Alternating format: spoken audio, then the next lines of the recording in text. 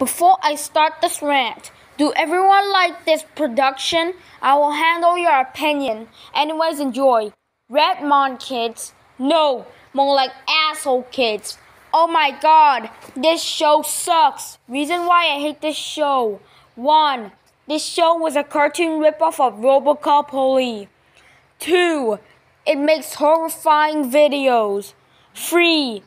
It makes crappy intros. Look at the intro. Redmon! Four and a final reason. It sing nursery rhyme by the wrong way. Who likes this show? Crybaby does. Low. Who hates this show? Me and Vionia and Tsz Hin. And I hope this show got banned. Robocar Poli is 100% better.